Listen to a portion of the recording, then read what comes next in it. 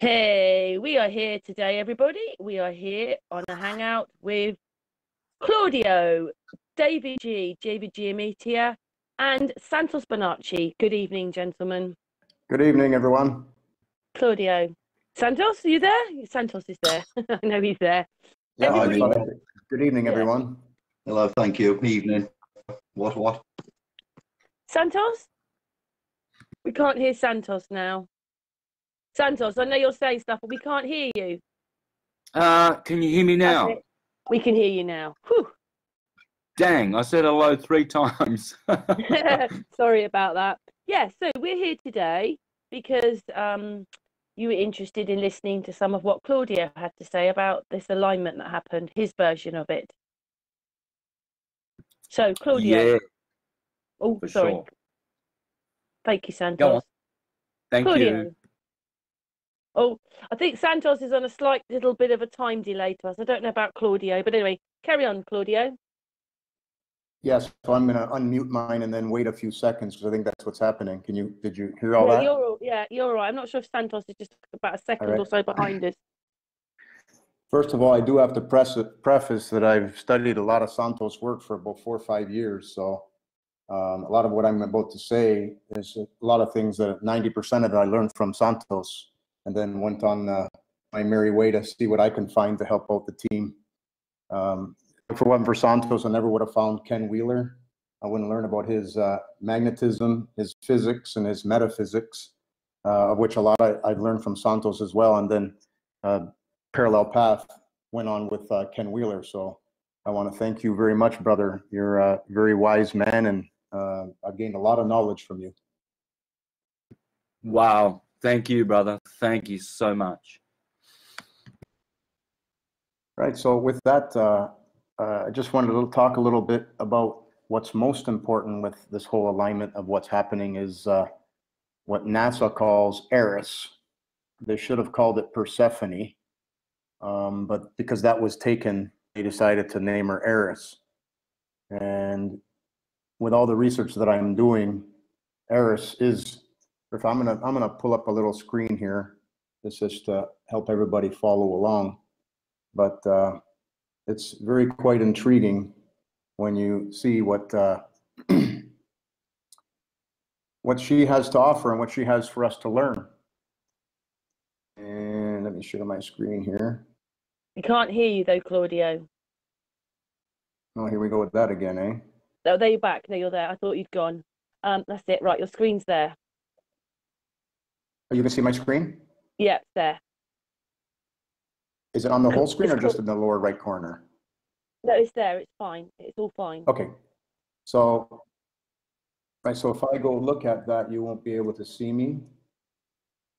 Here, I'll try to do this. All right. Um, one moment.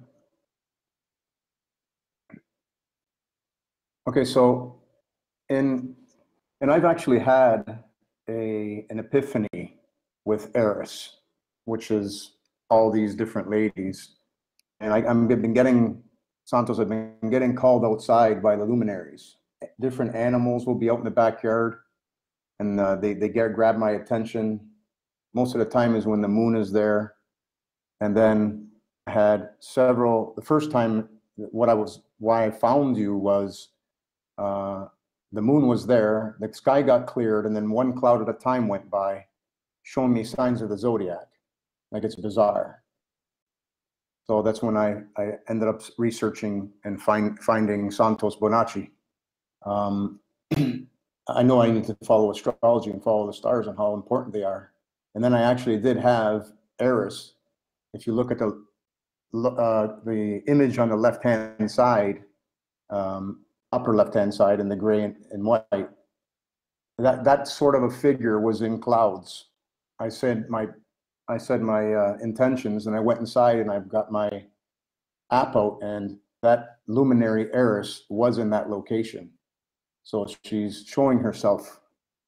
And then doing the research, Eris is really Mayat, it's Mektecahuatl, it's the Madonna, it's La Befana, it's the white buffalo calf woman, and it's Isis. And she carries the Ankh. And that Ankh is a symbol of Venus and is a symbol of Eris. And so she comes around every 560 roughly years. Um, I've got so much data that I found on on her being very instrumental in coming into people's lives. One of them is it's really funny is all of a sudden I get a, an a out of the blue call from an Italian club in Windsor and wanting me to get on the board. I ended up getting on the board and I end up partaking and helping out with just just the function of uh, the mass for La Donna La Madonna di Canneto, and that too is another story where uh, the Virgin Mary, whatever you want to call her, Madonna, Eris, Persephone, showed up to a shepherdess, and there's all kinds of stories that follow that. so it's it's really quite invigorating how everything's unfolding and how she's getting everybody's attention.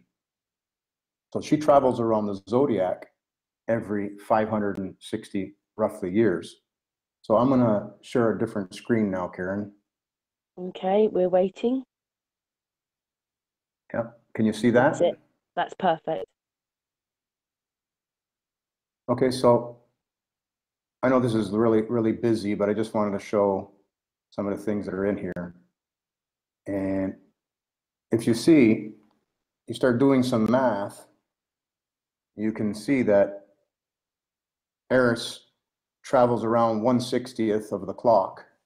And what this is, some people who've seen my other videos know that this is the 60 repeating numbers that lays out the swastika, the cross, and also lays out the 369, which lands on the 18 degrees, which the Great Pyramid has been, as, has uh, you know, made, made things timeless by putting offsetting the Great Pyramids by 18 degrees, and that lines up exactly with the 369. And if you start going back with Eris and where she was, because right now she's in Pisces and she's already came in and done a visit into the in Aries. So she's did a little jaunt earlier on. I can get into some dates later. And she's gone back retrograde and she's come back again. So before I go on further, I want to show you that she was there during Tesla's time. You take her in 9.3 roughly years for 160th of that clock. You can see that Tesla was born between 1856 and died, sorry, was born in 1856 and died in 1943. And that would have been exactly 1907 when this lines up on the 369. So hence Tesla and his 369, it's right here. It's in there. So the map is there. Does anybody have any questions? Am I going at a, am I explaining myself? I think he means you, Santo. Okay. Yep, yep, No? yep. Good so far. Yes. So, so I just wanted to show that she does make a presence and you can see, and this, this circle of 60 to which I did not discover, but all, a lot of the things on here I did find from other people and I throw it on here. And this is the universal map and it's so tied with astrology, Santo. So I thought it was very important that you see this because it's all tied and you can, you can see how I put the alphabet. I know you do uh, a version of putting the alphabet and all the different glyphs around the zodiac. These ones here fit really, really, really, really amazingly. A is the alpha, where the one, where the one zero one one is. Can you hear me, Karen? Yep, I'm listening. Did you hear that? Yeah, I'm, Yeah. I'm listening. We can see it loud and clear. It's big on the screen Okay, as well. so, okay, I'm just making sure I, that I, I'm, I didn't. Okay, so alpha one zero one one, there's only four places where these numbers do that. These are the gates. All right, these are the four gates. So the alpha's there. Omega, oops, sorry. Omega's on the other side, nine zero nine nine. Right? So there's the O, Libra. Seven zero seven seven, there's the G, it's the seventh letter right? So this is the light you can see. And then the 3033 is a light you cannot see at the U. So now when you start going all around these, you see the the M and N is in the middle, and there's your Mona for your Mona Lisa. So then you start going around, you got the Romans, you got the Masons, you got woman, Monad, Omnia. So all these different groups, it makes a lot of sense that they were following the MNOA, the 13th in the middle, right? So there's two sides, two 13s. So I'm, I'm gonna, I just wanted to briefly touch over that. There's so much in here that you can, that I can get into that I could take up the whole, the whole chat, but what's most important is I wanted to talk about is Persephone, the Madonna, because she's coming back.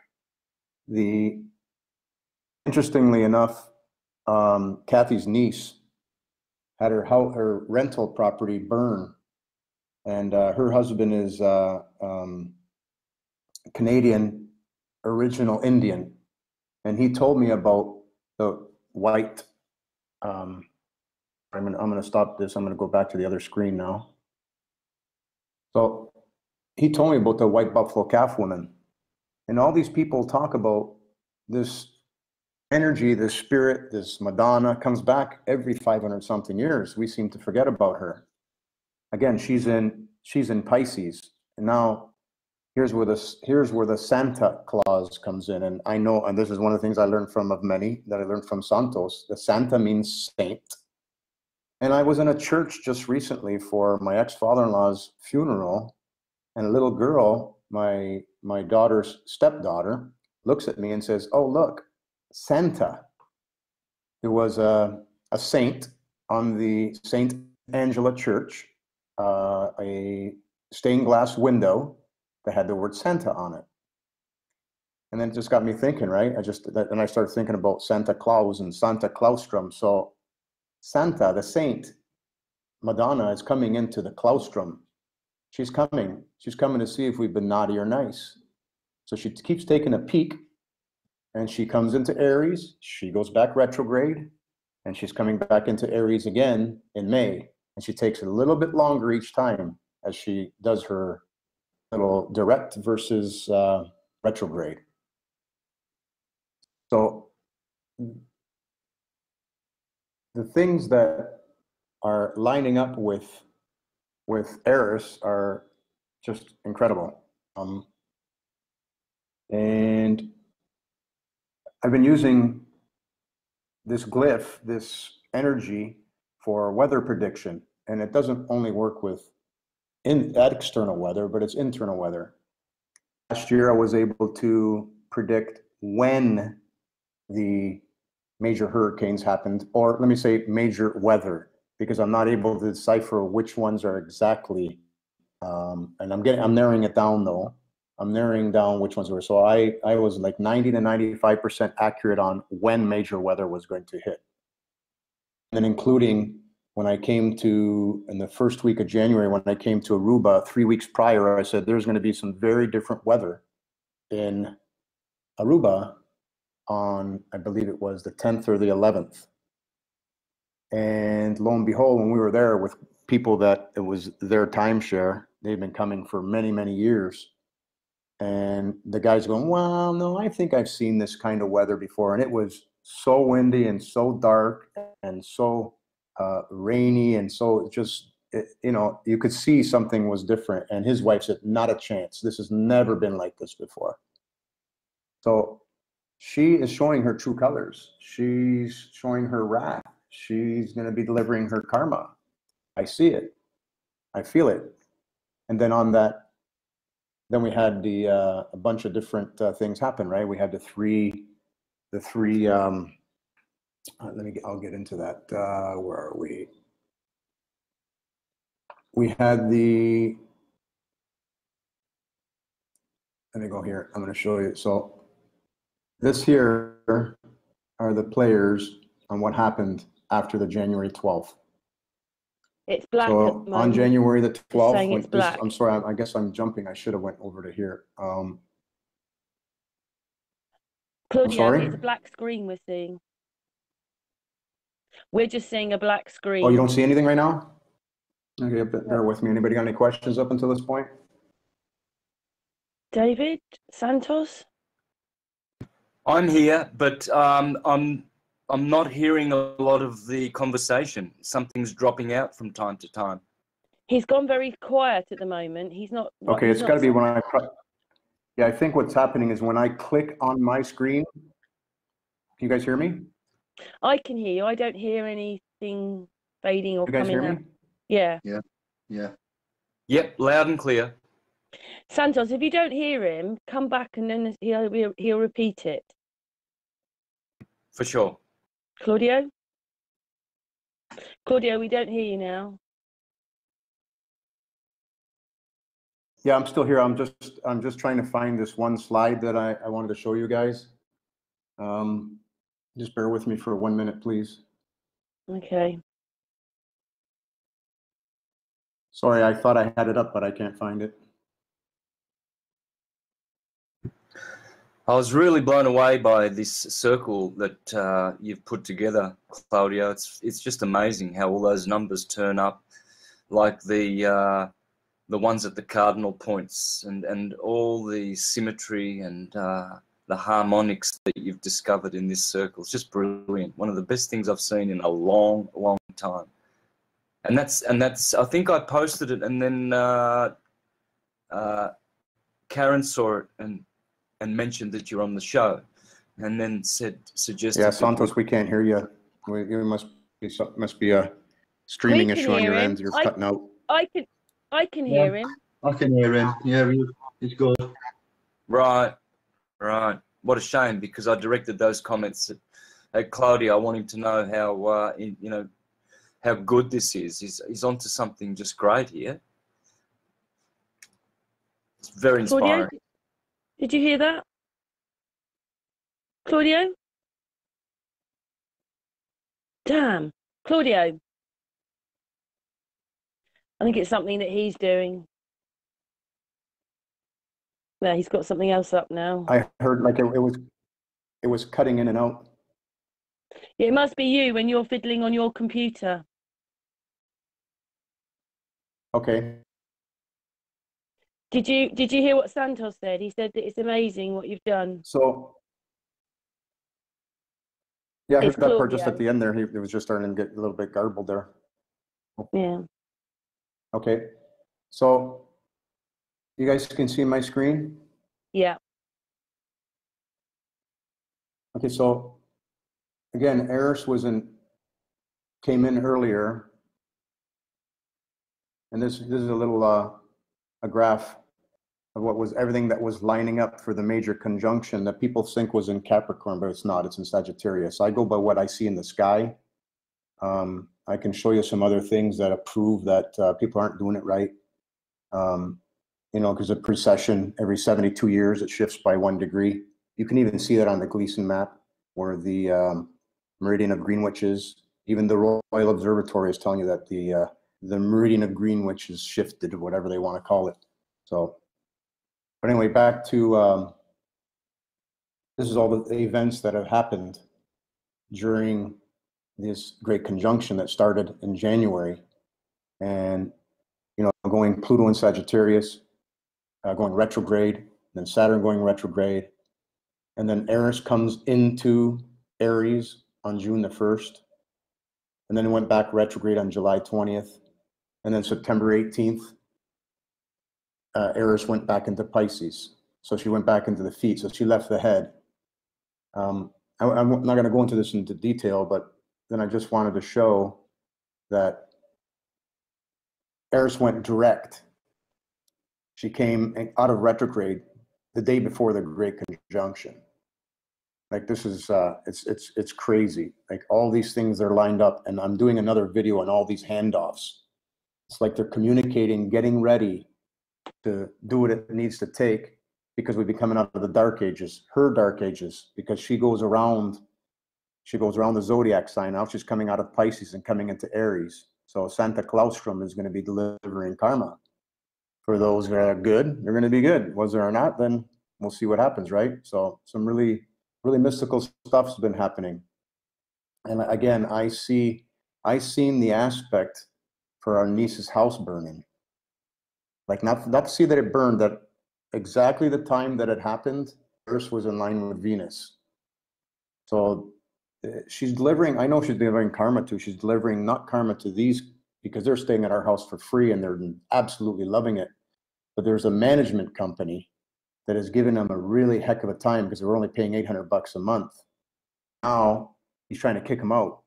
They didn't start the fire. The fire department approved it, but this management company for this, whoever owns this property, is being real nasty.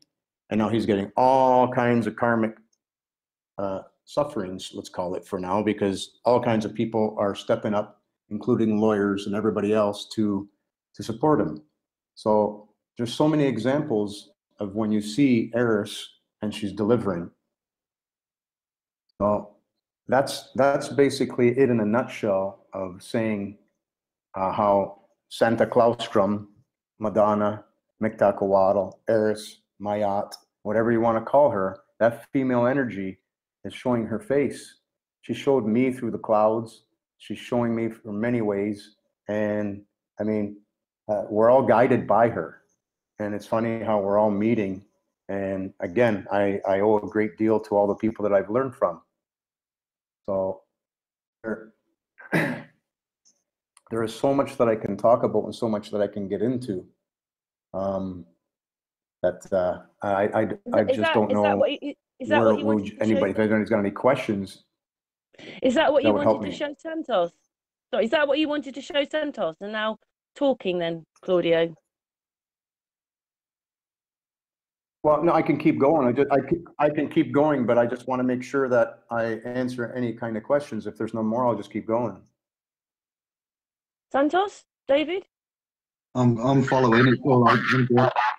Yep, I've got no questions, Claudio. All good, brother. Yeah, just keep, uh, I guess, um, presenting. Yeah, and it's all clear, loud and clear from my perspective. Yeah, we're good. I can hear all right. Yeah, carry on. Has he gone? He's gone. No, There he is. Is he? Yeah. We lost him for a second. He's back now. Cla- Claudio, they said that they uh, heard everything. You'll have to hear it on the master, you know, when it's played on the on the channel. But they said that they haven't. They're listening to you, so they want you to Yeah. carry on. I heard them, yep. Thank you. Must be a little bit of a delay or something. Maybe that's it. You and Santos are on a bit of a delay. Me and David aren't. Um, I think Santos is all right actually. It might be you, Claudio. Carry on then, Claudio. Yeah, it could be because I'm, I am, in- I am in Aruba, so. Um, so on the great alignment, I went back and I looked to see major weather happened. And as there is, there was two cyclones or hurricanes that come cyclones in the other side of the world. But there was one major one that started on January the 12th. I have these, these videos can be seen on my, uh, on my YouTube channel. Um, but it's, it is 100% that, uh, that she caused and was part of with the luminaries, all this stuff. So all, all these different things that have happened. Um, I, I don't want to go into detail here to be redundant, but I, if, if people want to go through this, you can see that all these alignments are act are like 100% lined up with this weather patterns. Man is not doing it. Government is not doing it. Somebody wants to, I don't know, they're, I don't know, I don't know what people are doing to try to either trying to make money on their clicks or what they're doing to try to scare people, whether it's the government doing it. I, I don't know, but uh, uh, the luminaries are 100% controlling the weather. It's uh, it's repeatable, it's predictable. Again, I'm still working on the where because the whens I've got I've got pretty much uh, nailed down. So you can see on this slide that I'm showing you, the peak was January 12th, 13th, and here's the data. The site and go figure, it's called Cyclone Claudia. Coincidence, I guess. Haha. So, so then we had uh, three volcanic volcanic eruptions on the the 11th and the 12th. So Taal volcano became very active. I went through and I just talked about all the different things that are happening. I'm showing some potentials of the where because this is research, so I'm sharing my research. I'm not saying this is exactly right, but you can see Uranus. Uranus is the is in charge of wind. I mean, it's it looks like a windmill to me, but everything that I've been following, uh, I know the different conjunctions that Uranus is in, uh, we get winds. And it was uh, at the exact time Uranus was in line with the Taal volcanic eruption and then the whole Great Conjunction. So, and then you can go and look at Mama Moon. She's the she's the keyboard player. She she's the fastest one that touches everybody. So, and you can see how the handoffs go. So then uh, people can go and watch this video. And then I started looking at, okay, so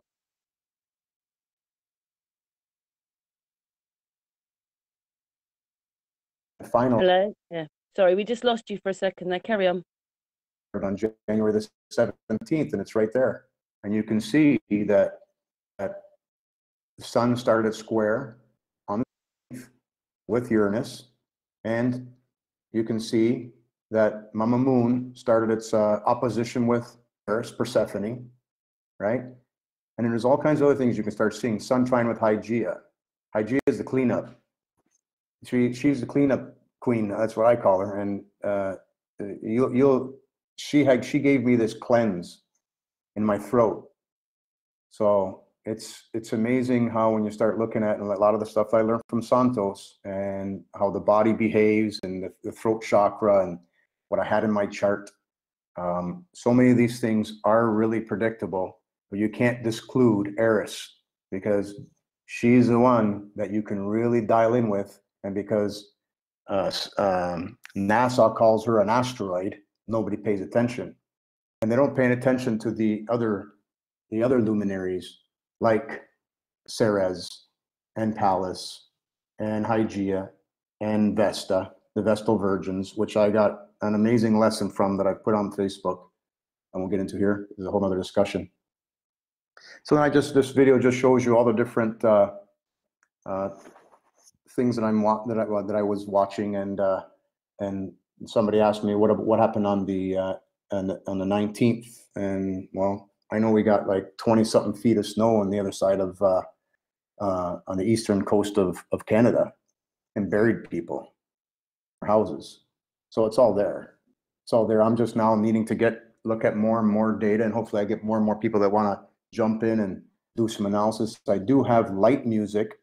Um, he's offered to help and make an app, an app such that I don't have to go and manually put these the luminary locations inside where they belong at their declination and their or their latitude.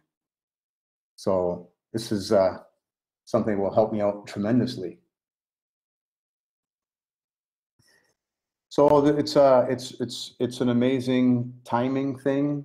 It's an amazing luminary thing. It's invigorating to know, uh, and with everything that I've been taught from great people like Santos, Ken Wheeler, and, and so many others, and the brothers David and Dave, and I can go on and on and on. That this is all piecing together, and there's so much. Sorry, Santos. Hey, uh, Claudia, what's that word there in between conjunction and Uranus? It looks like Taal. Yeah, that's uh, that's the Taal volcano in the Philippines. Okay, okay. So what's going on here? Uranus is in conjunction with what? And I'm the not- Great Conjunction. Say again. I, you broke up there, brother. You- Could you repeat that? So, if you, yeah, so Uranus is making a straight line between the Great Conjunction. If you can see all those little luminaries there Mercury, Pluto, Saturn, Ceres, and Sun. Yep. Like I said, this is research. Is this what caused Taal to go? Uranus in line with those? I don't know. Uh, this is, like I said, this is this is just uh, a guess on my part. It's just something that I've noticed. I'm trying to look for, I'm trying to look for patterns of what makes these things. Claudia? I'm still here. I was just seeing if I answered Okay. Santos' question. Oh, okay. Did I answer it, Santos? Uh, yeah, yeah, it did. It did. For sure. There, there was a bit of breaking up there, though. Just so you know, guys, I'm not hearing a complete, good, healthy feed. I don't know where it's coming from. I actually think that um, it's Claudio when he's actually messing around with his computer and he's blanking things out. And can I just say something as we're here, Santos? Do you remember the last hangout we had? And you, we said that that noise was happening.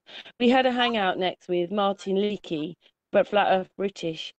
And the only person that had the same marble sound going round and round was him. So it wasn't you and it wasn't him. I just wanted to say that, by the way. Right, there you go.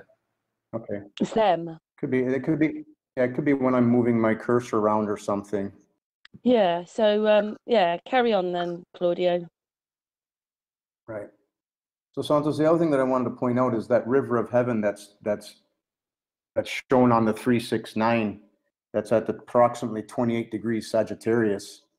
That is the, that's lining up with the Milky Way. It plays it plays a major factor in all this. And um, this pole shift that everybody's talking about, well, all these luminaries, this great conjunction happened right around the Milky Way. And they're all they were all jumping across the river of heaven, so to speak. So if if you do get a chance, Santos, to watch a couple of my videos, I, I'd like some feedback from you, brother. Yeah, well, I I saw the the one that I posted on Facebook and um, and on my YouTube channel as well. So that's probably the only one. How many more videos have you got got on there? Uh, probably half a dozen. Beautiful. I'll I'll go in there and check them out for sure and post them on my uh, on my timeline as well. Get people to you know, uh, share and, and like and subscribe, etc. Just to continue, you know, supporting your work and making it grow because this this is really really good.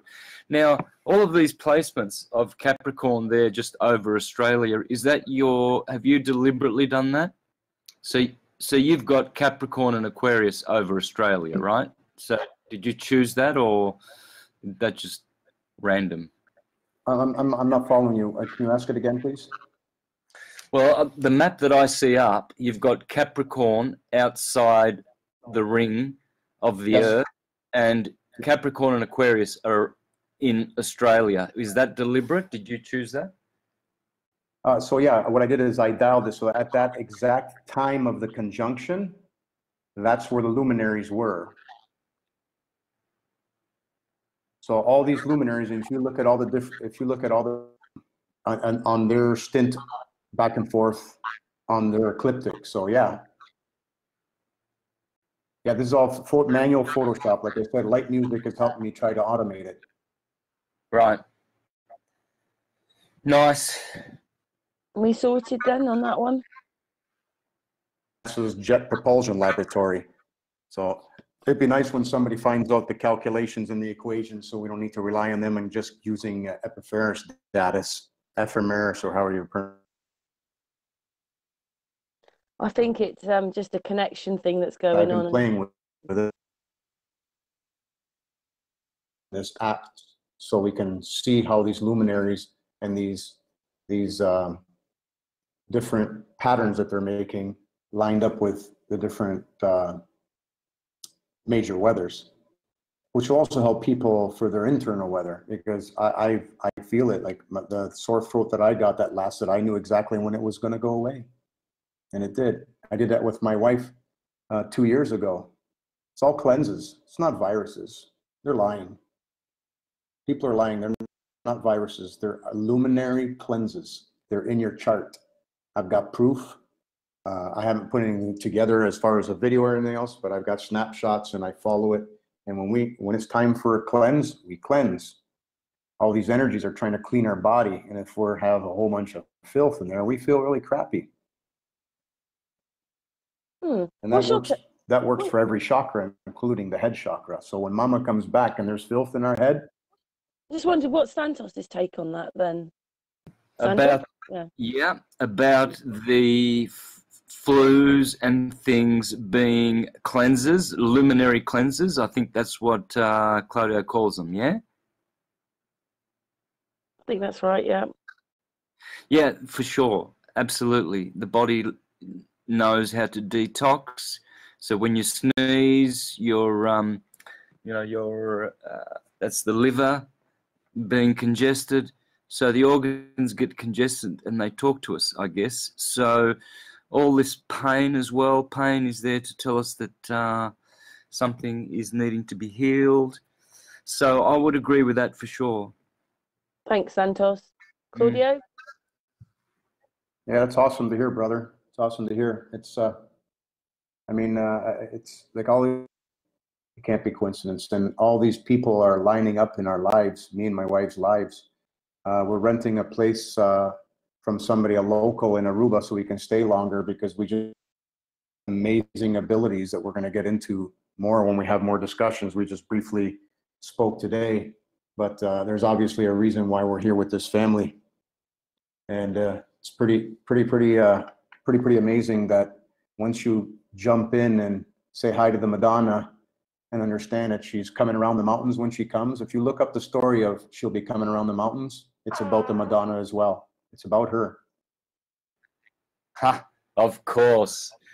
Whenever any song is talking But about this? she, I, I got it's, it always it always goes back to the Madonna, Isis, Mary. Can everybody hear? right. I just got to Claudio? figure out what the six white horses are. It might be the same thing as the uh, the uh, white buffalo calf woman. So if uh, no other questions, I'll just go on to another screenshot that I wanted to show you guys. Claudio? Yeah, I'm here. I'm just uh, I'm just uh, having the next screen up. Okay, on the on the actual computer, it's just your icon, not the screen. But on my phone, I can see a map. Yep. Yeah, but it's not on the computer right it? now. No, Yeah, I was just getting it. I was just getting it ready. Do you see it now? that's it. Yeah. Okay, so this is the Gleason map. And oh, by the way, I did make a typo. It was early, early in the morning that I had Capricorn and Tropic of Capricorn and Tropic of uh, of uh, Cancer, and the two green rings in the wrong location. But I did. I, it is pinned there. I thank the one brother for pointing that out. So this is the Gleason map, and I've been playing with the UTC time zones, right? So yeah, in a second. Let's see here.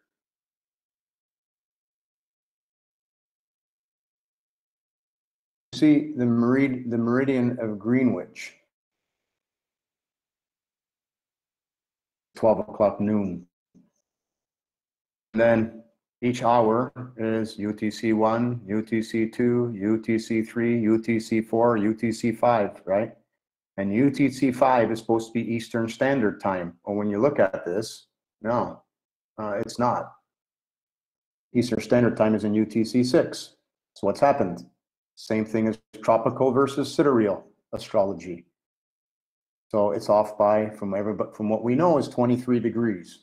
It makes sense to me right now. That's that's roughly it, but I'm I'm not taking that as uh, gospel because I'm going to work it out myself. And I don't know if Santos has anything to share with that or not. But uh, and the Royal Observatory, the Royal Observatory knows that something is shifting, and that's why they're calling it a pole shift. So everybody's starting to realize that things have shifted. Well, I'm also wanting to do, and if anybody has any information, there used to be, it used to be called the Meridian of Alexandria. So the Meridian of Alexandria was obviously back in a time when the precession was in a different age. So I can understand how tropical works because it shifts one degree every 72 years. So if you're studying astrology and you're off, you will notice a pattern and you'll think that it's okay from the last 72 years, from the last 72 years. But when you look at it overall, you're going to miss things. Like you're going to miss this great conjunction that just happened in Sagittarius, which is, was over the river of heaven right before, and it's right the day the day before, uh, sorry, the day after Eris, Persephone, Madonna went direct.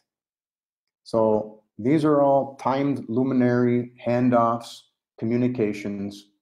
Uh, you can uh, you can just see them happening. These handoffs. It's like a relay race. It's beautiful and it's invigorating. So I I am working another on another video showing the handoffs from now till uh, December twenty first because that was um, um, help me out, Karen. Uh, the gentleman we were talking with last. I'm drawing a blank on his name that asked me if I could look into what's happening on December 21st because he's doing something as well. Um, What on Hangout? You mean? yeah, um, it was he came. in- Costa, brother Costa. That's who it Costa. is. Oh yeah. Costa, thank Ooh. you. Yeah, Sorry, so I'm working on that one. Yeah, I'm working on that one, and, and that is the one that I started showing where all the different, all the different uh, ages of, has used and renamed Madonna into something else. But I can tell you this, that December 21st used to be the, the, Chri- the, the Christmas day, the New Year's day. So they're all different names. And then because of precession, the 21st became the 25th, right? The 25th became the first, and the first is now the 14th. And if you follow the Indians, the Eastern Indians, they still follow the 14th. So it's roughly around between the 12th and the 14th is the New Year's Day, the Christ, when the Christ is coming, because Sirius is due south, exactly due south at midnight on that night. And so, of course, that would have been on the 21st many, many years ago. And then it shifts to the 25th, and then it shifts and it shifts and it shifts. I'm trying to find the relationship between that and Persephone as well. So between Sirius, right? And we know that the Sirius is uh, is is part of the we three kings of Orion Tar, right? That's Orion's belt. I learned that from Santos as well. So they they they're westward leading, still preceding. So the precession, right? So knowing that the Egyptians put those three pyramids right there on the river of heaven, which lines up with the circle of 60, um, this, this is something that needs to be discussed and, and grow upon. It's a beautiful thing. So the Meridian of Alexandria is going to be a, is going to be a key. Uh, us not fitting on the Gleason map as far as the UTC codes go uh, is it's it's amazing. We've uh, we've we've lost our way. We're coming out of the dark ages. Our collective consciousness is growing. Can see it, can feel it. Uh, things happen to me, and I just take it with a grain of salt because it's supposed to. I'm supposed to have patience because I know that I'm going to meet somebody, and I'm being delayed. And don't worry about it. I'm wondering why can't I get my phone fixed? I, I got to make sure I get everything lined up for this talk that we're having today. But it had nothing to do with that. It was to meet that fine young gentleman in the lobby that worked at the hotel. He was, he was, he's he's awakening. And same with the girl that traveled to Egypt, and she said she's gifted, but she had to shut it down because she could see everybody's aura, and it would it would not sit well with her when she was uh, when she was young. I told her she needs to get back into it. She would numbers would be going crazy in her head when she's little, and all these beautiful colors. So uh, I can see them. I've had m- many experiences myself with these beautiful colors that come out of me and start swiping from side to side, and then going to speak speak to somebody, and it locks in right on their right where their third eye is located. I mean, it's invigorating. So the collective consciousness is growing. It's incredible, and that's because Eris is coming into Aries. And I know I want to see I want to see how Santos. Uh, Santos probably going to start flying or something when the Eris comes into his brain. yeah, well, it was interesting Anyway, that was because when Uranus, I know there's a, I know there's a delay. yeah, there is. Uh, when Uranus entered Aries in around 2011, uh, well, I I uh, felt the effect of that. It was really palpable. Really, it's incredible. So that's going to be interesting because it, it'll enter Aries. Aries Eris will enter Aries in around my birthday, right? Claudio? Yeah, in, in May. In May, she comes back into Aries. Ah, okay. Yeah, Great. you catch it. I'm In May, she comes back into Aries. Great. That's interesting. Really interesting. Yep. I mean, we know everybody's going to have a different perspective on it because everybody's DNA or their chart is different, right? Yes. So you like what you're seeing then, Santos? You like what Claudio's saying? So that's pretty much- worked- Oh. So I was just asking Santos, do you like you like what you're seeing then, Santos? You like what he's talking about? Oh yeah, this is like this is mostly transcendental science because it's um uh yeah it's it's it's at, once you start dealing with the luminaries astrology and their influence on the mundane uh, you're talking transcendental. And this is why people uh, can't seem to follow because it's uh, for them it's it's not anything that they can really uh, relate to with, with their education. So this sort of stuff for me is you know what I wake up to every morning and go to sleep with. It's it's the only thing that inspires me, and and it is good. Yeah, uh, Claudio's uh, approach is quite unique. This is what we need. We need people with a unique approach to it because syncretism is everybody's, right? So everybody owns it, and it's like um, like Wikipedia, right? So there are multiple writers, and they all make an article complete by adding their pieces to it. So uh, this is how syncretism is going to going to take more shape as we go on in the future with great revelations like Claudio's. It's fantastic. There you go, Claudio. Claudio? Yeah, not, I I caught I caught yeah I caught most of what Santos said, but it was it was garbled, and I wasn't touching anything. I turned my screen share off and didn't touch my mouse, so I'm not sure what's happened. But yeah, no, I I, I agree with you, Santos. I learned that word from you, synchronicity. Um, it's uh, it, and studying Ken Wheeler and his metaphysics. I mean, our right brains are one. It's in the zero one one. Zero is the absolute. The first one is our yin, and the second one is our yang. The G meaning the seven colors of light we can see, right? It's our material side. And knowing that the other one is all the same with us. We have this the charioteer that is driving this chariot is the same one in each and every one of us and it's being illuminated by Eris, big time.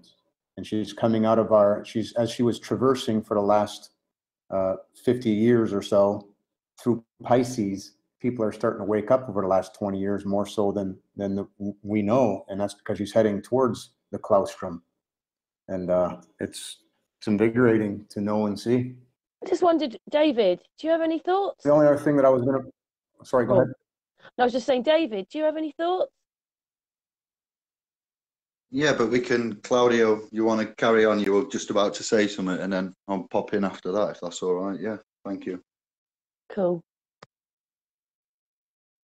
Claudio? Well, this was, uh, this was, yep, yep, this was to the both of you, uh, uh, Santos and David, because I know you're both of Italian heritage, is that, uh, I also did uh, a video on La Madonna di Canneto and showing how that was just a whole nother group of people there that understood uh, phi wisdom, the one and the zero, because the glyph of phi is a zero and the one. So it's the absolute and the yin. So um, when I did that, I found out that it, it, lo and behold, this whole story of La Madonna de Canneto happened obviously in, near my dad's hometown in uh, in La Ciociaria. And uh, I found out that my heritage, my Indian background, that I'm a Samnite, and the Samnites were another, you know, another tribe that came from the Pythagoreans, Platonists, those guys. You know what I'm saying? So everybody comes back from them. So I just wanted to share with you guys that uh, I know I'm a Samnite. So when somebody says I'm an Indian, I'm gonna say, well, we're all Indians, aren't we? We're all from the same spot, some as the Earth. So we're all Indians, and we got to stop the separatism thing because I'm an Indian, and I'm going to go to my government and say I'm an Indian, and I want my Indian rights, which I've already done through the legal system anyway. I've already sent my whole uh, notice of uh, claim of recognition and note of understanding to the Governor General of Canada, claiming back all my rights. Course, I know they just file it and then let you be on your own and going into court. But uh, yeah, I just wanted to say that uh, I that's basically all that I wanted to share today. Uh, of course, whatever discussion we wants to have, and let you know that I'm a Samnite. Go ahead, David. What part of Italy were you folks from, Claudio? What what part of Italy? Mine were from Calabria, right down south. Both parents. Yeah, my mom was from. I got. I'm gonna wait a bit because there might be a delay. My mom was from Tuscany, and my dad was from Ceccano Frosinone. Frosinone is in which region?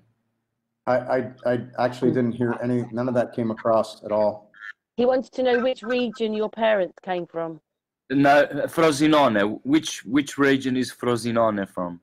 Ah, when you say region, it's, it's well, we, it's the Ciociaria, Cicciaro, um, Pro, Provincia di Frosinone.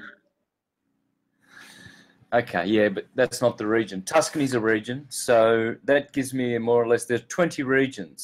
So Calabria is down south, and you mentioned one of your parents is from Tuscany, so that's a region. So Frosinone would be in a region, like for instance Lazio, um, Campania. Lazio.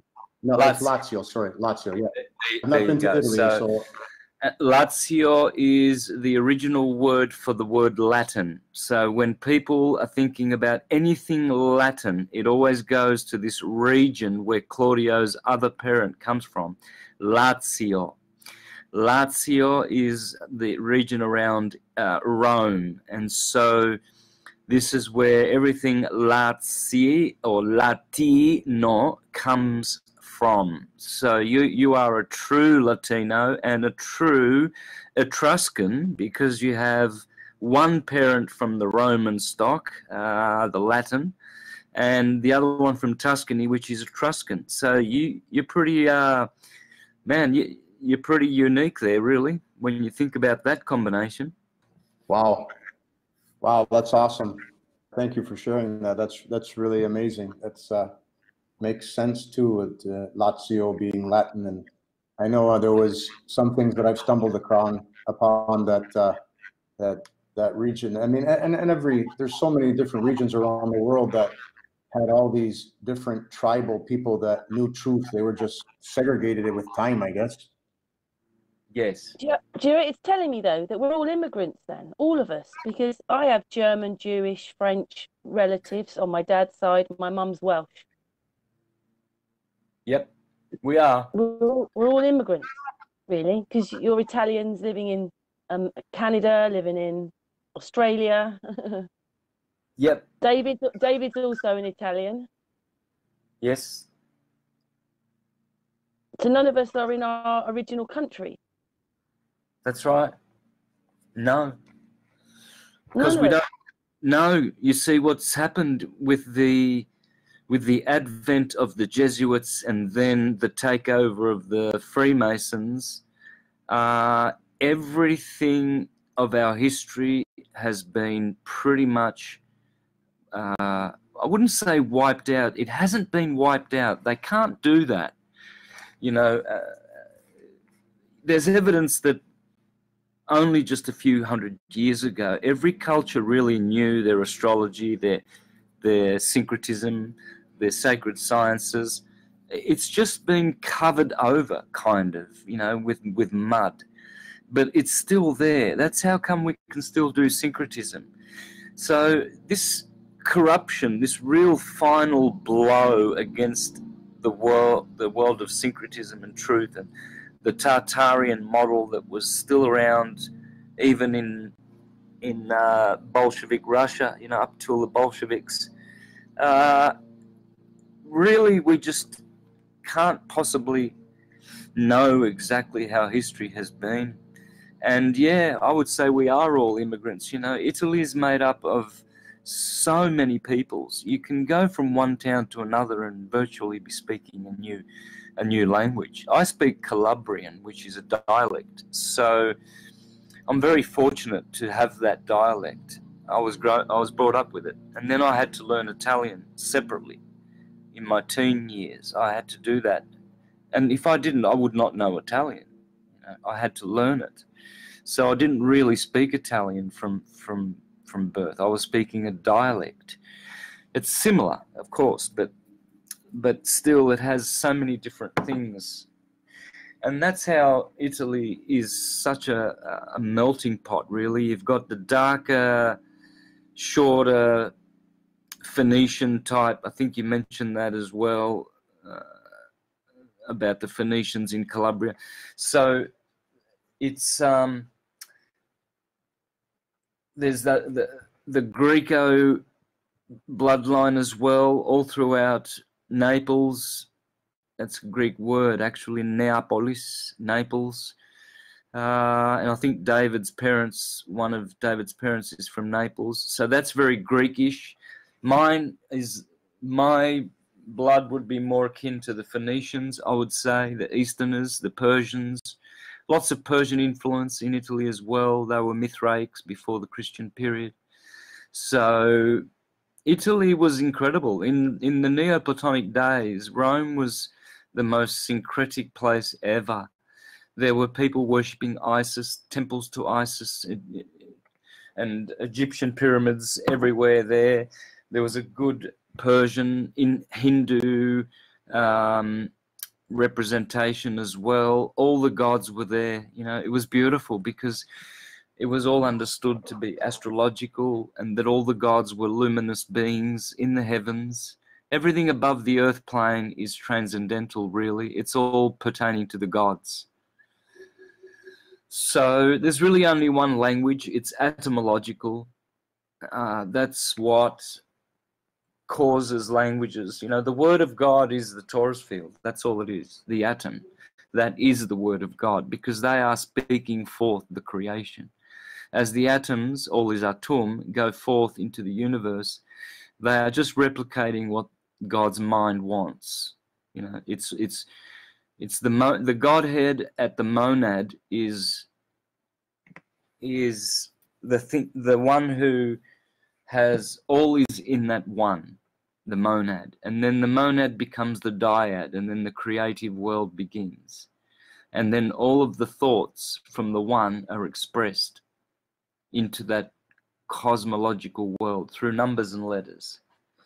And that's what toruses and atoms are. They are numbers and letters, quantities and qualities, pulses and waves. It's a pulse wave universe, it's not a particle wave universe.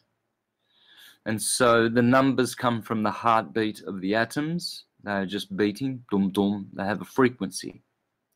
And then that frequency radiates outwardly and causes a transverse wave, which is the letters of the universe. All the letters come come from the from the transverse wave. So it is a numbers and letters universe, gematria, for sure.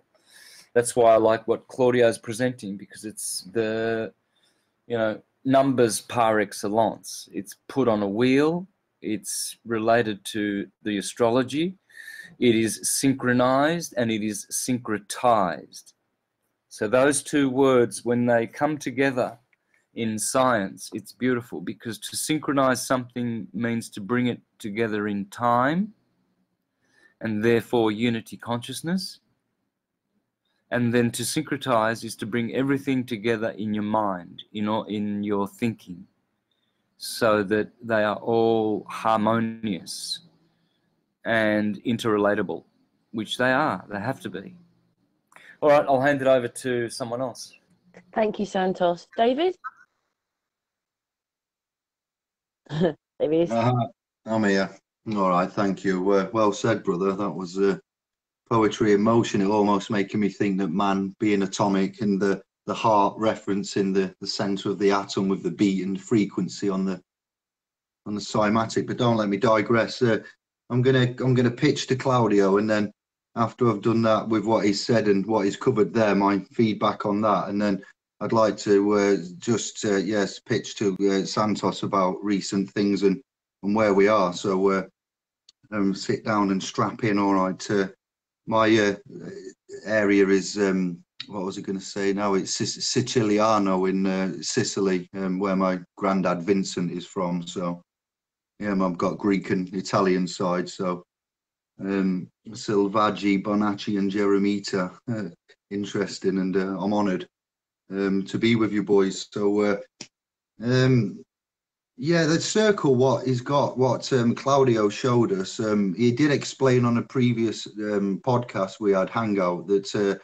he obtained those numbers by using a um, the golden ratio or um, something like that. He is very accurate. It has got striking uh, connotations with with um, um, as above, so below, so below, as above. You know, we've got the uh, cherubims and so forth in the in the bits that we've we've read about, and the electromagneto, um, you know, frequency where universe, matter, antimatter, what we see, and our research and discovery is, uh, yeah, it's blown me away. I thought you'd enjoy his works and uh, the way he presents and is very articulate. I definitely think he's an indigo or a crystal or a, rainbow or something along along our lines of uh, initiates of self, a self scholar. So, Claudio, you're a legend, and uh, I'm glad Santos has uh, taken that, you know, and uh, feedback of because I I've got some some feedback later with regards to the Christmas times and the sun and the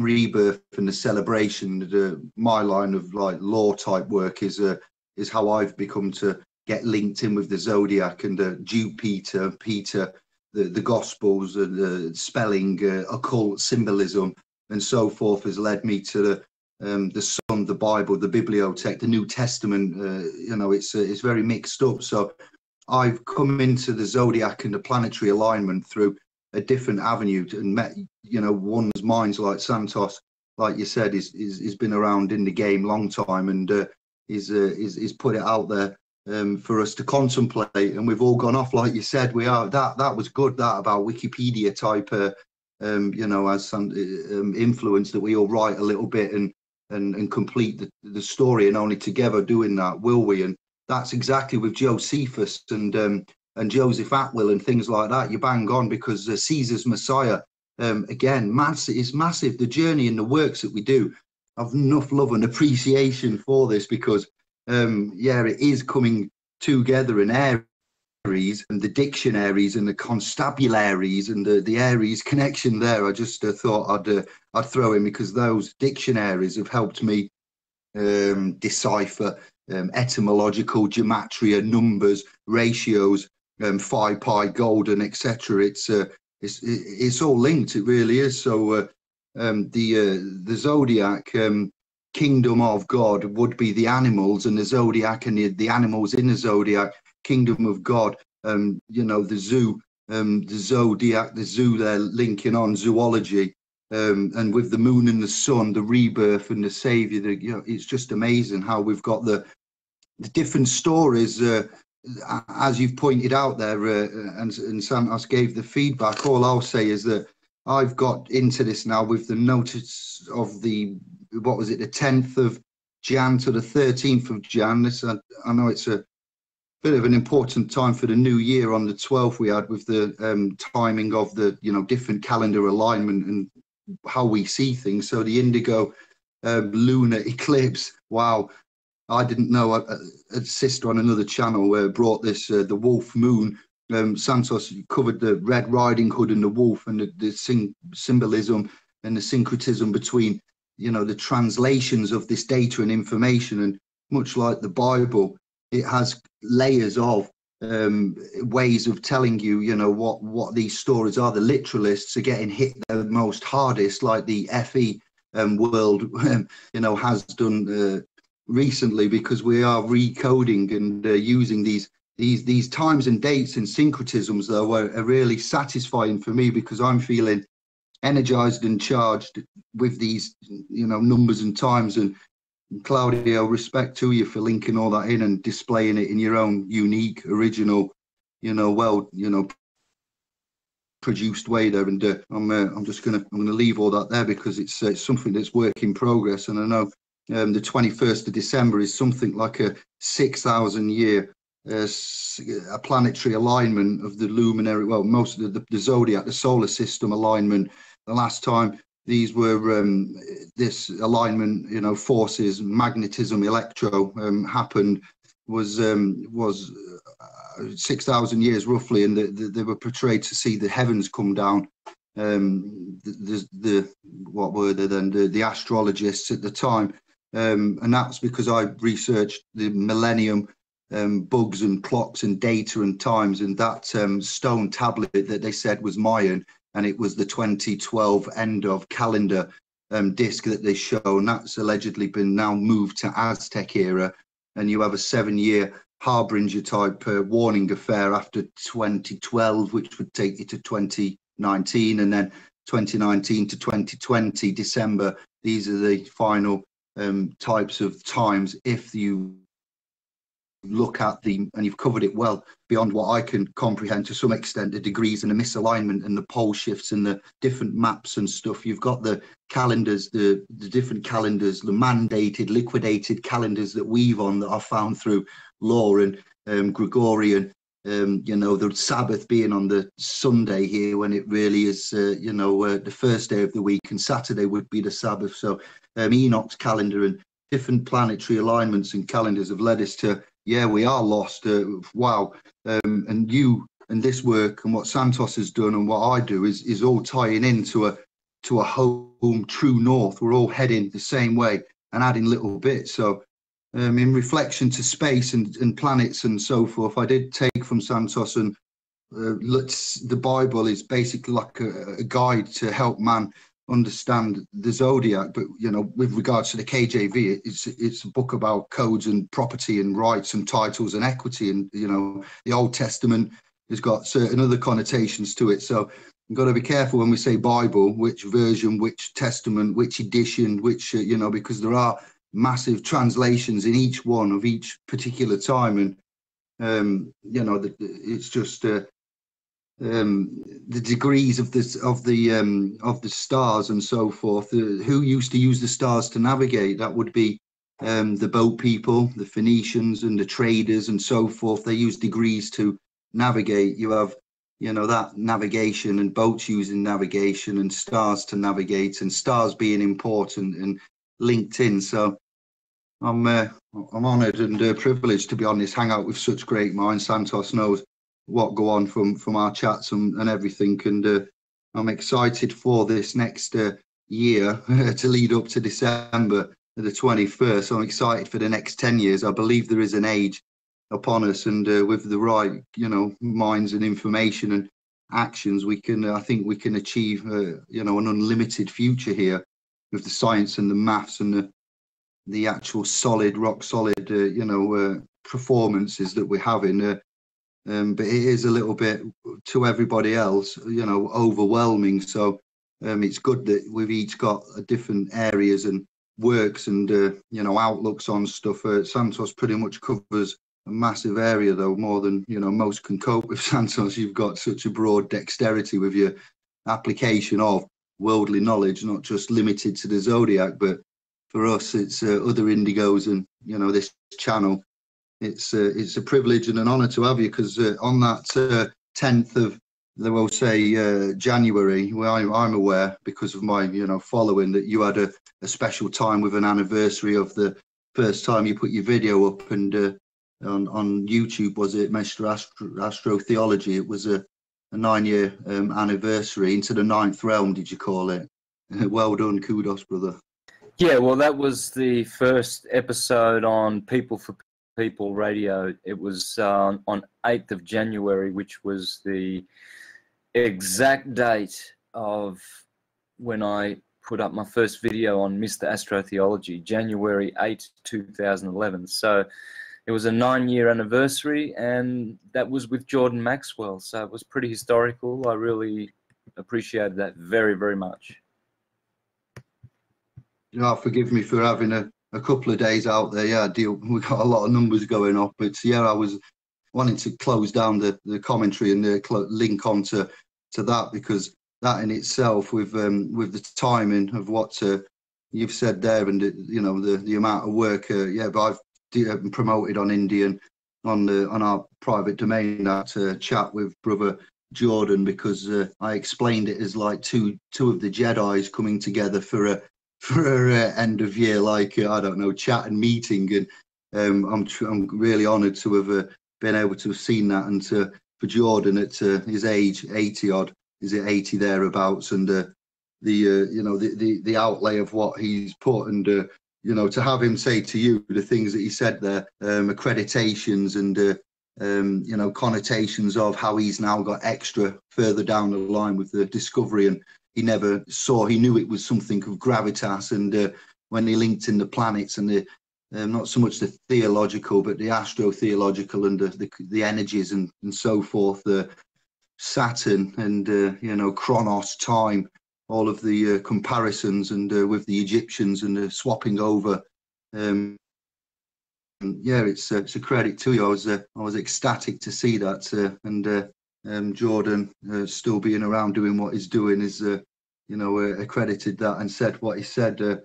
I'll leave it there. Yeah, it's truly remarkable times that we're in. I'm excited to be alive, and I yield. Thank you, David. Claudio, did that answer your?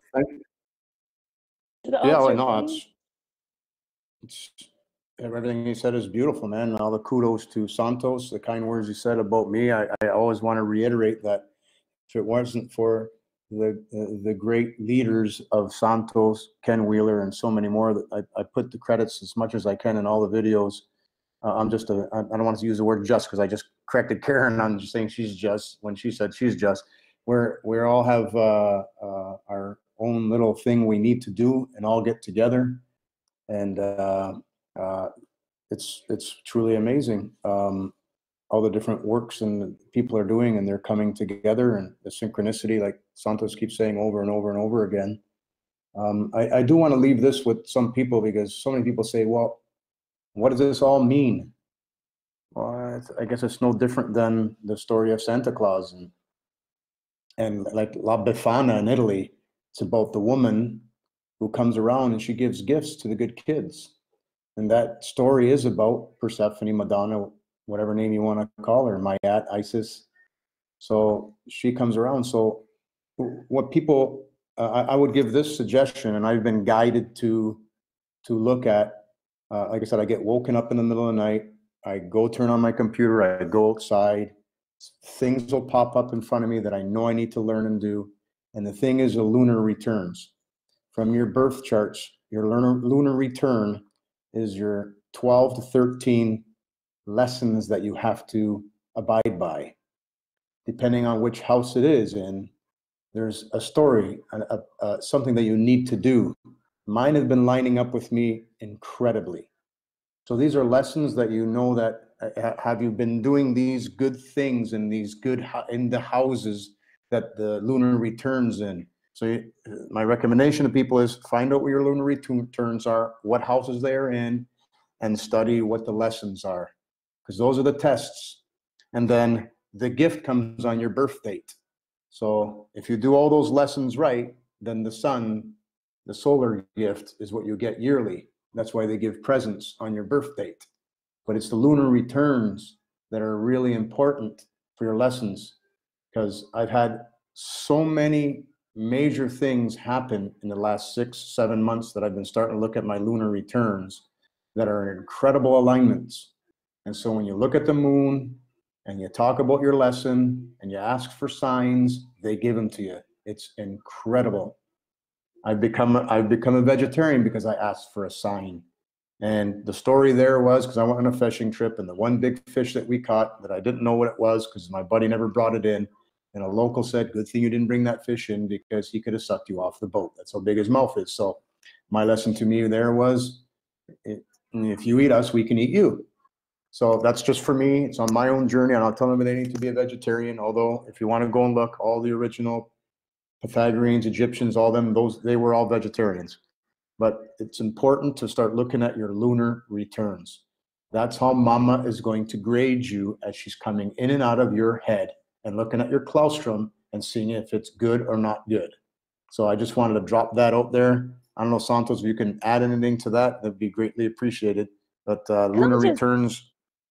Go ahead. Sorry. Can I just say something? Very important words in this whole thing are nearly your surname Santos, uh, Giametia, and Claudio. Just wanted to say that, by the way. Um, also, is this why they're changing the Bible all the time then? Because they've got to to match up because everything's moving, and they've got to match this Bible up to um, those dates. Just wondered, guys. That's a that's a tricky question to answer. That I could say that the Old Testament has got you know the Hebrew and the Phoenician and like Santos and Jordan have covered. If you go to that video, um, you know, and have a look at Santos and Jordan chatting, and talking about the controlling families and the lineages. And I mentioned what we've been told to look at Josephus, Josephat, Will Caesar's Messiah, the original Hebrew and uh, the, the Old Testament is nothing like the the New World. You know, the New World translation and um, encoding of um, certain storylines and you know um, bondage, slavery. Um, coming with Jesus as Christ is what man is now, thanks to Santos and the works and the studies and the applications of what we've done. So I would say that the KJV um, is, a, is a handbook. We would say in our research and diligence is another way of a story to be applied of property titles and rights. So each book is from a lineage and a time and a, an existence of of which is a for its time, like the Black's Law editions of uh, dictionaries. If you want to research particular areas of law and you're in the 1800s, you're best off using a dictionary that's got the definitions from the 1800s, not using Black's Law 10 which they're on now in 2020, which is current definitions, you'd need the 1800 publication. So this is just a, a game that's rigged. It's full of pitfalls and uh, nastiness and um, stealing of energy and hoodwinks. And uh, I don't take pleasure in saying this, but uh, brothers, uh, the Zodiac's in there as well, as well, you know, and it's a story of the stars. But um, loosely threaded. It's it's many things to many people, and it depends on how you look at it. Is uh, the world's greatest story, and uh, you know the events contained within. But um, it's it's fascinated me, and it's not over because you've got the Assyrian, the Dead Sea Scrolls, and the Sumer, the Enuma Elish, and certain other bits like um,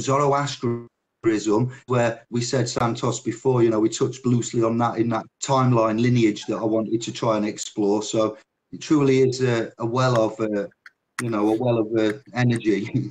I yield. Santos? You want to say something? Your microphone's off. Oh, he's put it back on. Santos, do you want to answer any of that?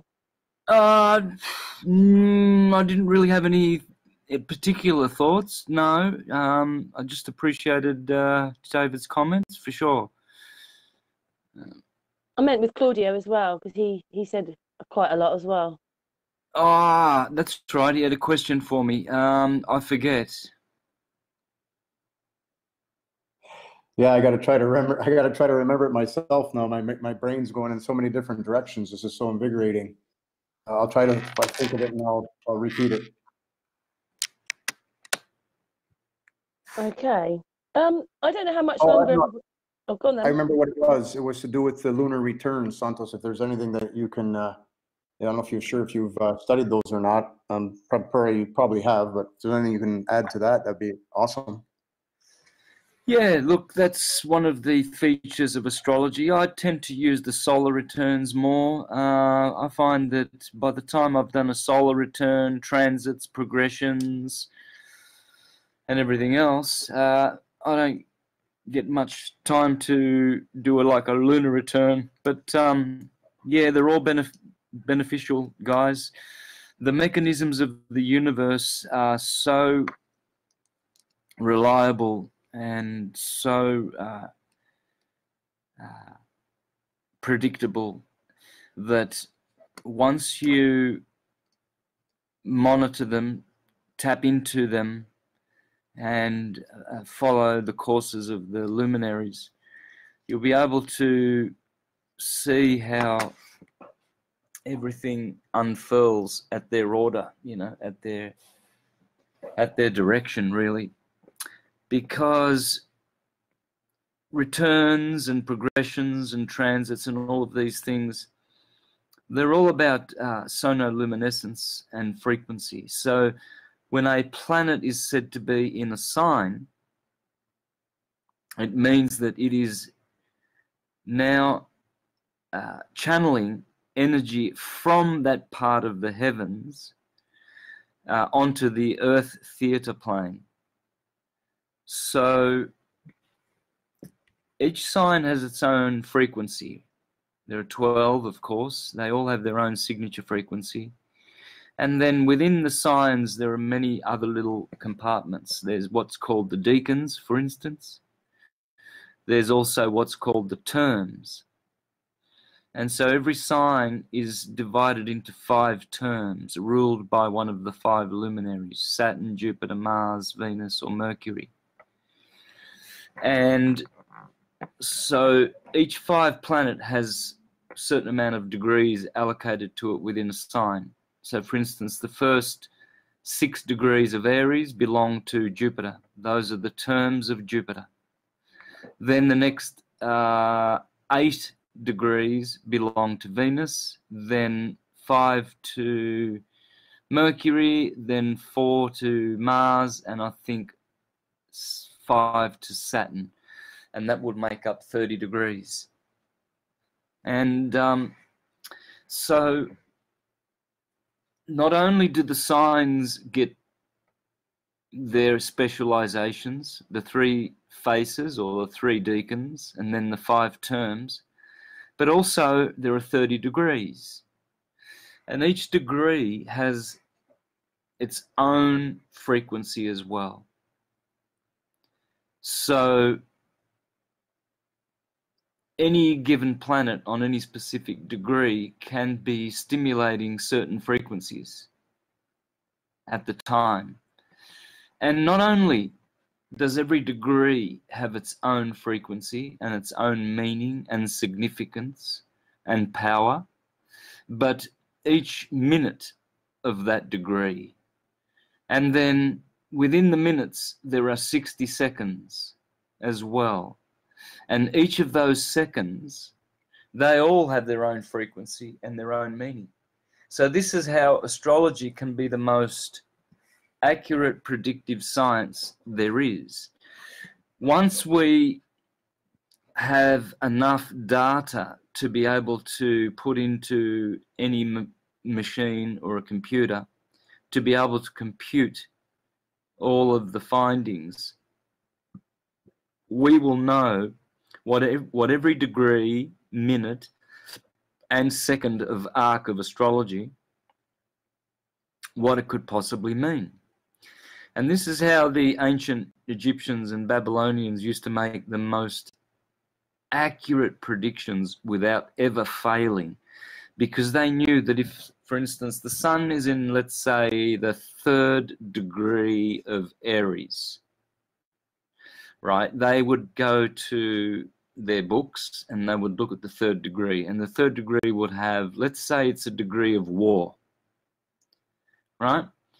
Now, that doesn't mean you just wait for the sun to go into the third degree of Aries and then you start a war, because that's the degree of war. No, you would then wait for the correct minute to turn up because there might be minutes within that degree where the warning is do not start a war at this minute of this degree because you will lose because they will have the upper hand because it's not the right frequency to begin a war. So they might have to wait even just 30 seconds for the next minute to clock up to find a good one for attacking. Then, not only do they wait for that, they will also wait for the, the, the second, the right second to turn up because again, there will be 60 different seconds within that minute, within that degree, whereupon you should not act.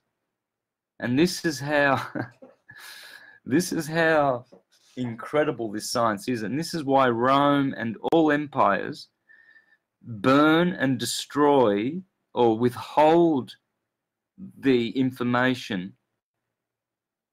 For instance, there will be many, many astrological volumes out there in the Library of the Vatican which will actually tell you what the different meanings of all the different minutes and seconds of arc, what their meanings are you know, if you had all that information and you were uh, privy to it and had access to it and could use it, you would be able to make accurate con- predictions every single time without fail. And this is how powerful the science is and why Rome went after great works of astrology. For instance, Porphyry, my favorite philosopher astrologer of all, of all time, the Neoplatonists of the fourth century, his 12 uh, works on astrology were in the witch hunts were were um, hunted and seeked out all over the world and destroyed. And now you cannot have 12, the Porphyry's 12 works on astrology. So, and he's not the only astrologer of antiquity who has suffered this fate. You know, we, we still have uh, older astrologers like Marcus Manilius, Ptolemy, um, Vettius Valens, Firmicus Maternus, Claudius Ptolemy, I've already mentioned, who had the uh, the model before Copernicus. For thousands of years, the Ptolemaic model was was there, and then all of a sudden it was supposedly debunked by Copernicus. Uh, well, these all of these astrologers, we have all their works, but what happened to Porphyry's? Well, you see, this is where you have to. Uh, the the question is begging: what what else have they destroyed that that uh, that we don't know? Because once it's destroyed, it's out of your uh, field of knowledge, and, and so we really don't know. But this is the thing that I've that always causes me to contemplate deeply. You know, what would we, where would we be if we had the knowledge of all those degrees, minutes, and seconds of arc? Because the secret of divination and uh, prognosticating the future and and uh, foretelling is in those degrees that were carefully preserved for thousands and thousands of years by the great nations of antiquity. Then came the Jesuits, and the Jesuits inverted everything. They had to. Because in the, the old Tartarian world, everybody lived peacefully. There was forbearance and tolerance. Uh, you would worship Isis on a Friday or Islam, Isis Lam. You would be uh, worshipping Saturn on Saturn Day every Saturn day. Uh, you'd be worshipping the sun or Mithras on a Sunday. Uh, every Thursday, you would be going to your Christian church, Jupiter, Zeus, Jesus. You'd be you'd be practicing Christianity, and every day you would acknowledge one of the seven luminaries. And it didn't mean you had to be just Christian, you know, just a Thursday worshiper. You were all of those things. It's you just wore a different hat every day because every day had different energy. So, and this is also in the day you're born. I was born on a Sunday.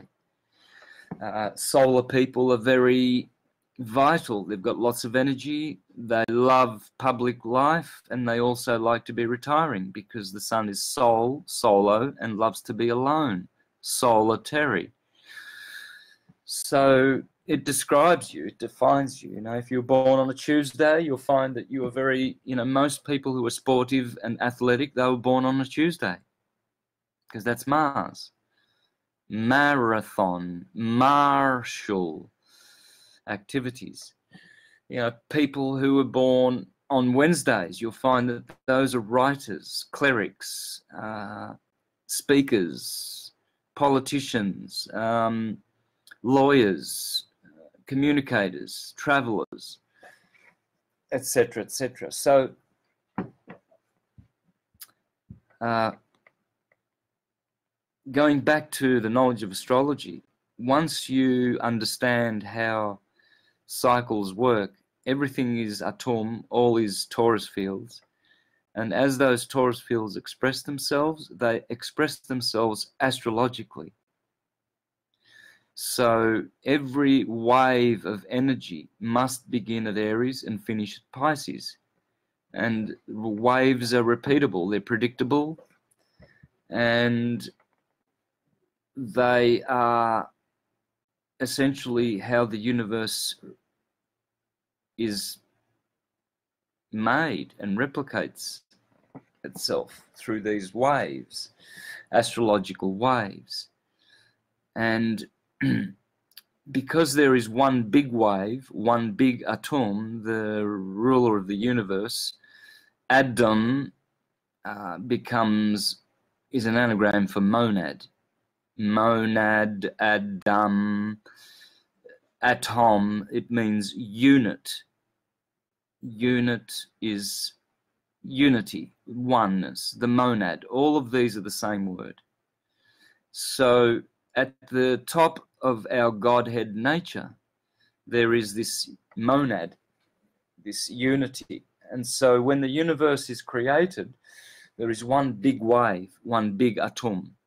And from that, all its little children, all its small atoms in varying sizes and, and magnitudes are then propagated through the universe. And essentially, they all copy the big wave. They are all fractals of the big wave. And then as they express themselves through time, they change positions to each other. Then there is all kinds of variances to the dimension, the timeline. And this is why astrology is the only science that can forecast everything backward and forward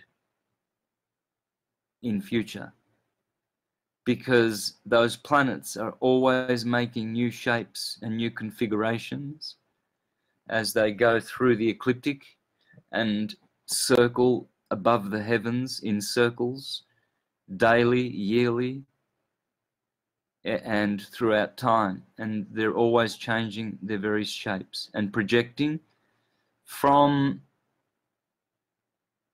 the constellations down to the theatre of Earth, projecting different waves and thoughts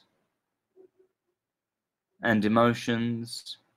And we are basically just uh, like swimming and walking through those waves, imbuing them, uh, living them, speaking them in our lives.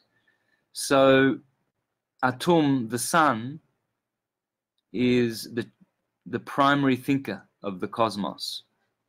The primary intellect of the universe is the sun. It is, is a, it is a consciousness expander. That's why solar work is so important when you do sun gazing, grounding, put your palms out to the sun as Akhenaten taught, and receive the rays of the sun into your body through the eyes, through the face, through the palms. Palm is lamp, both anagrams of each other. Lamps, the lamps of your body are your palms. You see, when you when you turn your palms around to the sun, which is very rare, how often do you see people just facing their palms to the sun? Well, not at all. It's it's usually the back of their hand that is facing the sun as they're walking toward the sun or looking at it. So you, they never think to put their palms out. But the moment you do, you're creating a loop where you are now harvesting solar energy and you are looping with the consciousness of the of Adam or Tom, all is Tom. The book of Enoch says the son's name is Thomas. And Thomas, of course, is Thomas Didymus, the twin. The twin means it's the it's it's the dyad. The sun is the the, the archon or the cosmocrator of creation of this world, the theatre on the earth. The world is really the earth. It's one and the same. Mondo, mondo is an, an anagram for Adam and monad. The monad makes the mondo.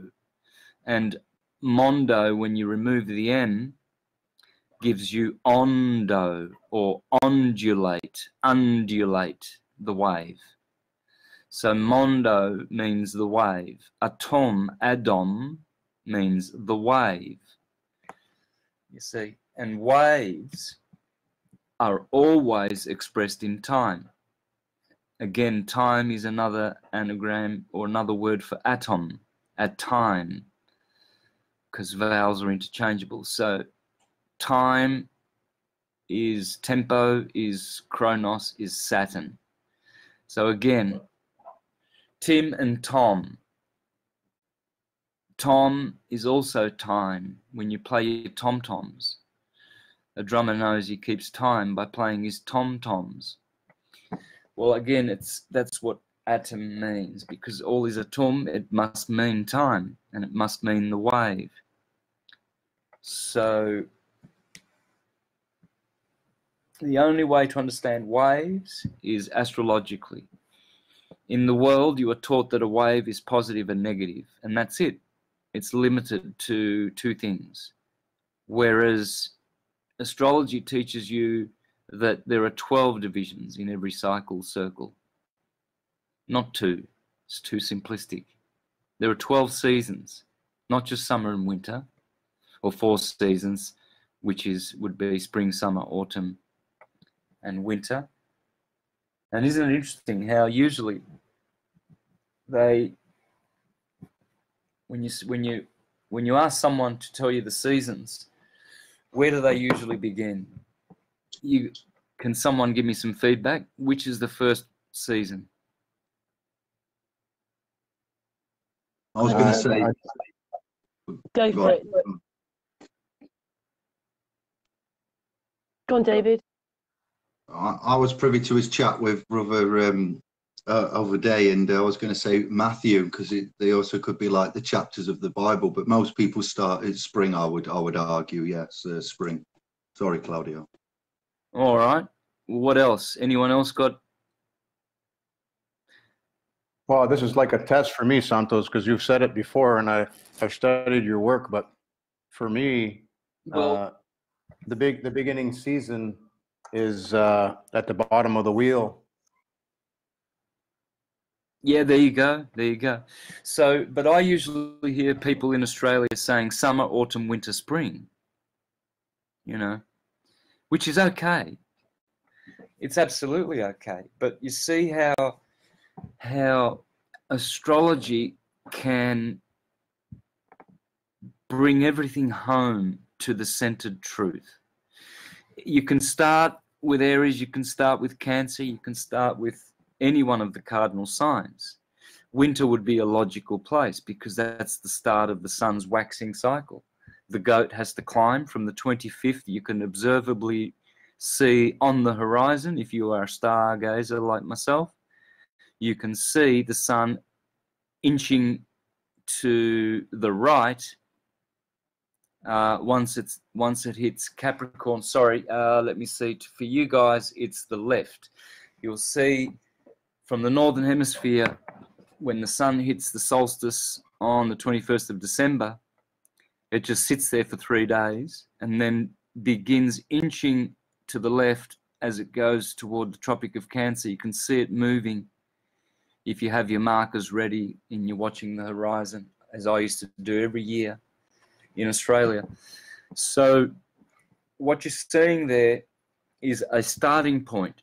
But really, when you understand how waves work, you would want to bring the beginning to the center at the equator, where Aries and Libra are at the equinoxes, because there's no extremities, everything is balanced and centered. You see, Capricorn is over to the right, Cancer is over to the left. They are the extreme wave amplitude points. The crab is crabby and the goat is capricious. And well, why? Well, see, one is water and one is earth. Of course, at wave amplitude, you're, you're going to have the feminine material energy represented, the heavy frequencies. Of course, there's going to be water, cardinal water over to the left and then or to the top, however you're envisaging, you know, the expression of the wave. I like to look at it as a helix, not as a spiral. A spiral is two dimensional. So if you look at it as, as the wave as helical, and you'll see it going through a tunnel like a Birkeland current tunnel, very electrical, you will see that there will be four cardinal points around that circle and every circle has four cardinal points. So, but if you're thinking astrologically, you'll bring everything back to the center and you'll realize that the starting point of the natural wave is the 21st of April, uh, of, of um, March. And so that's when everything begins from a balance point, right? And then the story gets unfurled from there. All of a sudden, the sun now goes away from that beautiful balance point and seeks unbalance. It's looking, it's looking for summer. It's looking for the polarity of summer. So it climbs up to the watery skies of Cancer and closer to the, the center of the earth at the North Pole and brings about a polarity, warmth, you know, vegetation, chlorophyll, photosynthesis. And then when it reaches that, it must then climb down the ramp or descend down the ramp and uh, to the Tropic of Capricorn at the other extremity, where it brings another capricious element, unbalance, cold, the polarity of coldness.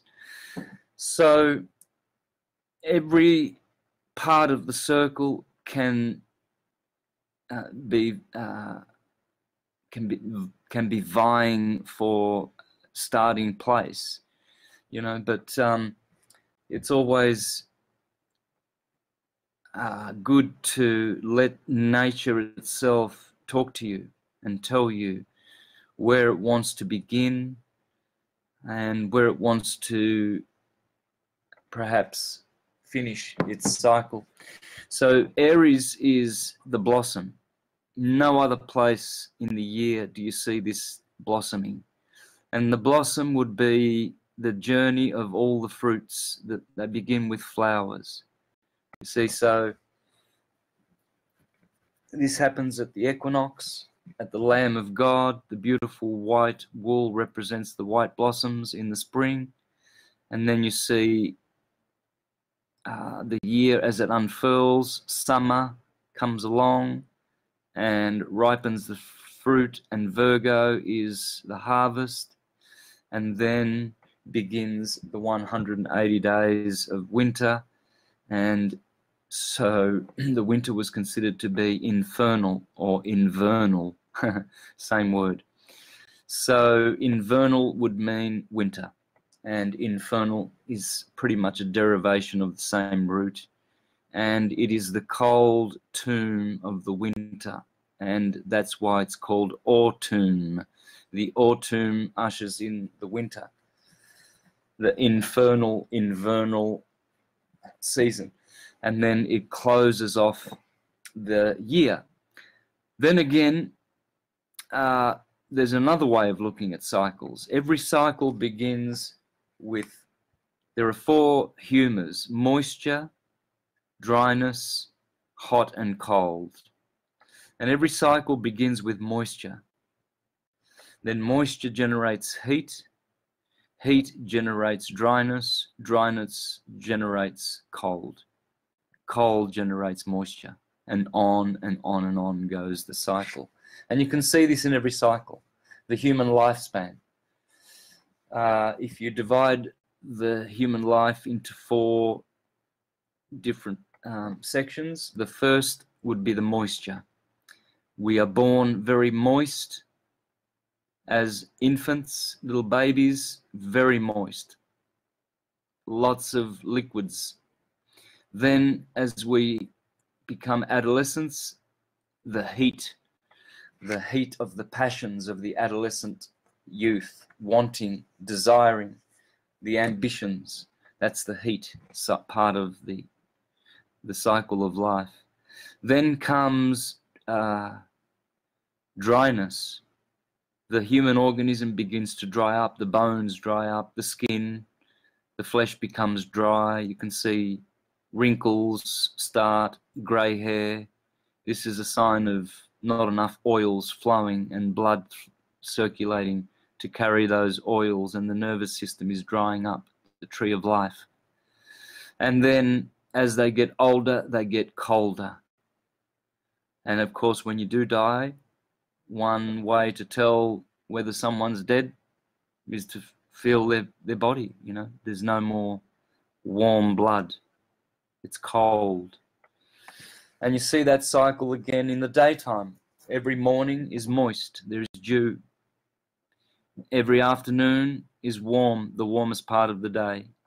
Then comes the dry as the sun sets, and then in the night is the very, very cold. And then again, the morning comes, moisture. Same with the year, moist spring, hot summer, dry autumn, cold winter. So, astrologically, you are put in a very beautiful uh, advantage when you see cycles acting and reacting in this way. Only do waves do this all the time. They're always moist at the beginning, then they heat up, then they dry up, then they get cold. Your four stroke engine, your two stroke engine, anything, it's all the same. The beginning stroke is moisture, where the valve uh, opens and uh, um, and uh, uh, what's the word I'm trying to use? As moisture enters into the uh, car, uh, the, the cylinder, then there is a spark, and that's the heat. Then the exhaust valve opens and it dries. Everything is dry. And then before the next uh, intake of uh, gas into the cylinder, everything now is cold and ready for more moisture and on and on it goes. And so, understanding things astrologically gives you the the vantage point of being like the witnesser, I guess. You can witness more as you uh, experience the day. You, you see more. You can see people's astrological signs in the way they talk, in the way they walk, in their behavior. You see more now because you have more information. You see, there's so much that you can do in a day, so much more when you are astrological. There's more way of intaking information. Uh, and you, you, you don't miss things. There's so much that is missed. People, for instance, they without the skill of ast- astrology, you, you you don't know how to interact with people as well. Knowing whether they are strong in the mental field, coming from air signs, or the emotional field, coming from water signs, or the sensual practical field, coming from earth signs or the intuitive mystical field coming from fire signs, you can uh, interact with these people as you know them astrologically um, much better. If you know how to uh, communicate through the field in which they will be able to absorb what you're saying better. You know, it's no use, for instance, if someone is very intellectual and they have a lot of air in their astrology, they are primarily operating from the material plane. So, you know, your conversation would probably be better for you to have, you know, um, facts and figures, um, knowledge based information, rather than just speculating and guesswork, and rather than you know uh, perhaps bringing in a lot of emotional content, you know, rather than being uh, super excited and really charged about your information, you know, perhaps you can be a little bit more cooler and more collected as you deliver your information because people who uh, have a lot of air in their astrology, they tend to just want to hear the information. Just tell them, you know, don't load it with emotional uh, um, uh, positive or negative uh, uh, connotations because it, it it doesn't register with them. Whereas if you're talking to say someone who's had a lot of water, well, you know they might need a lot of uh, emotional charge as you deliver the the facts and figures and information so that they can get into it because they might need to jump into their emotional field as they know well how to. And that way now you're connecting with them. You know i learnt this when i was doing uh, home sales. I was a, a new home volume salesman volume builder and i used to go to the tom hopkins and anthony uh, uh, tony robbins um, presentations and seminars when they would go out to Australia and do their teachings, and my company would pay us to go, you know, spend the day to hear these the world's best salesmen and their techniques. And and they would teach similar things but not astrologically of course because well that's not going to favor them because they want to be you know the owners of their own teachings. They don't want to show you that it's all astrological in the first place so that you know they can't make money out of it.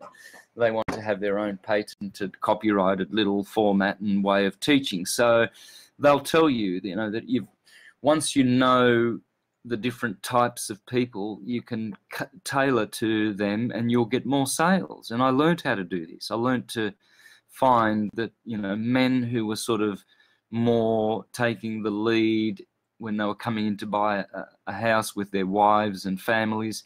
You know, if they were very cold and analytical and intellectual and had sort of more of a melancholic, phlegmatic personality, well, then you would need to come up with a lot of figures and impress them with what you know, you know, not rather, you know, if they were sort of a sanguine, kind of an individual uh, who's very emotionally expressive, you know, then you might just forget about the facts and figures and just sort of promote the house like, oh, look at this beautiful kitchen.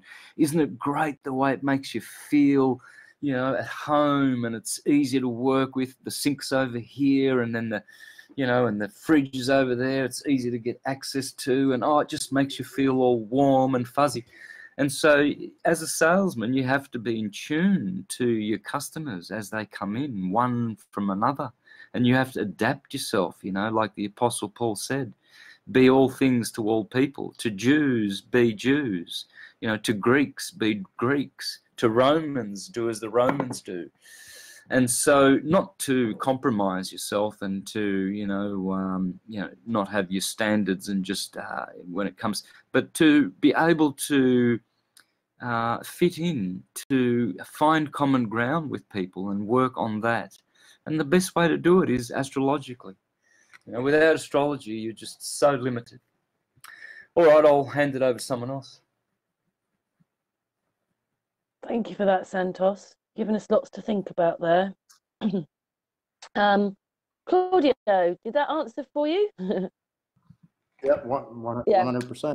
100%. Uh, I mean, has got a whole lot of knowledge and wisdom that uh, he loves sharing, and uh, we're invigorated to be able to be on the receiving end.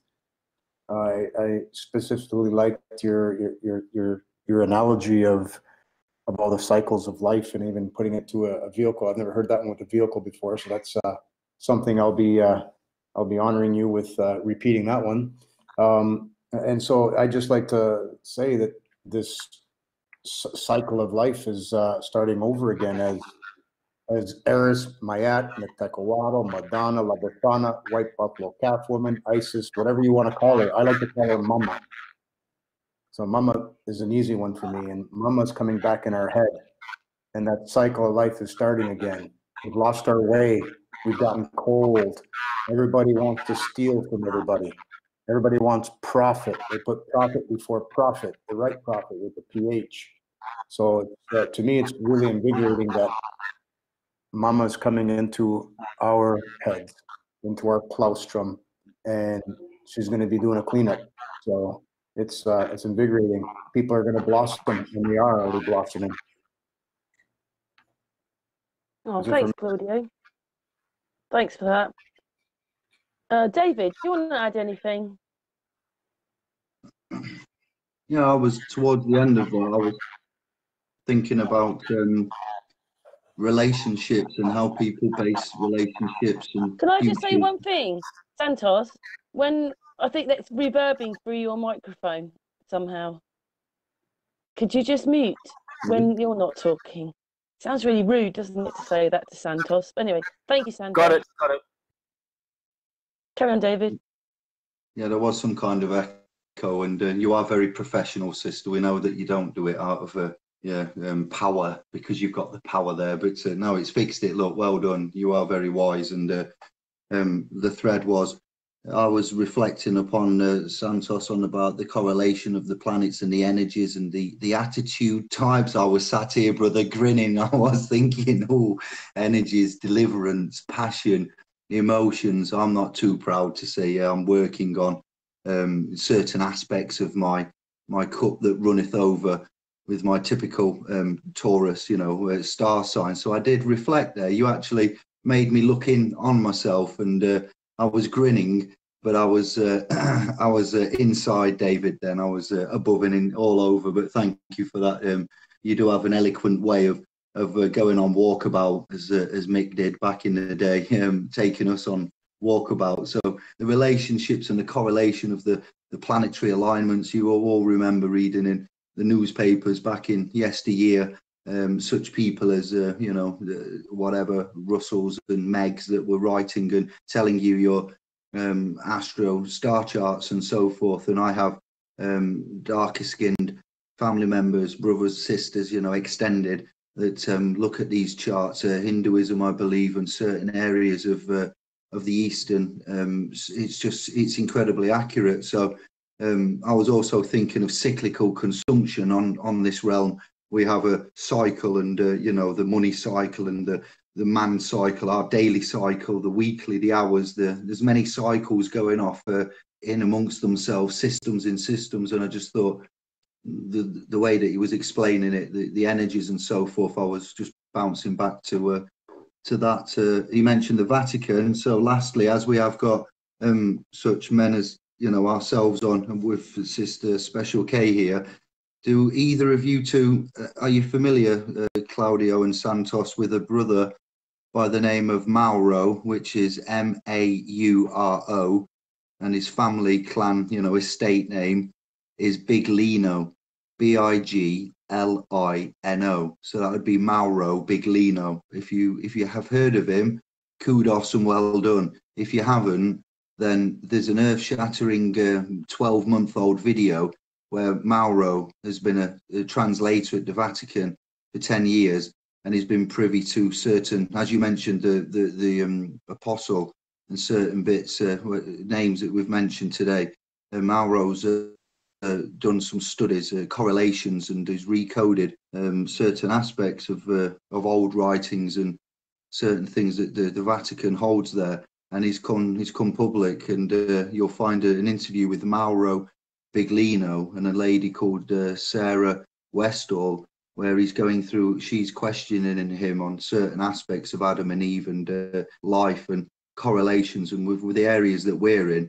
I think you'd both be uh, you, um, you as well, um, sister. Um, I don't mean to leave you out, but Santos and Claudio, if you were uh, make a note of uh, Mauro Biglino and that Sarah Westall, and have a look at that hour and twenty minute chat there. Uh, I think you'll find that that will correlate to your works as well, um, and your ultimate, you know, uh, outlook on things. But uh, energies, it is it's scary, Santos. I'll just correlate with what I've found, and to me and to others. And when you apply this, it is I'm not a master at all, but I'm a, I'm a novice. But uh, if you get into this and uh, you pay attention, uh, what what you get back is, you know, it's it's very beneficial and it can be used to an advantage.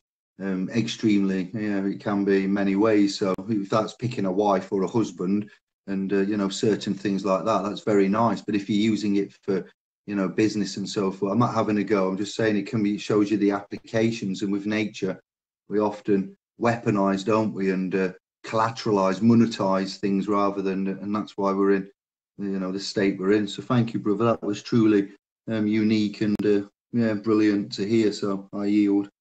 Thanks for that, David. Um, yeah, everybody's agreeing. It's really nice, isn't it?